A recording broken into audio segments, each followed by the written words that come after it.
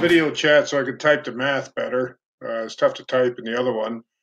So, um, okay, the pendulum bob swings through an arc of 50 inches long on its first swing. Each swing after, it only swings 60% as far as the previous swing. How far will swing altogether before coming to a complete stop, round to the nearest inch? Okay, so the first swing we have 50, then we have 60% or 0.6, right, times 50 on this, right?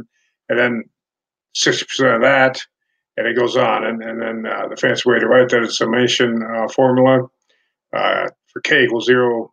I'm just doing 10 swings. I actually found it, it stopped about six swings, 60% uh, uh, to the k times 50. So when k is zero, we have our first term, k is one, we have our second term, so on.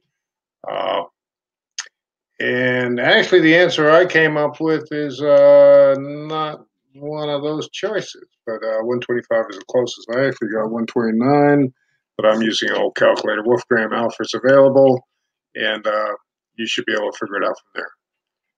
Uh, God bless, and uh, contact me if you have any questions. Thank you. Bye. End. How do we end? End.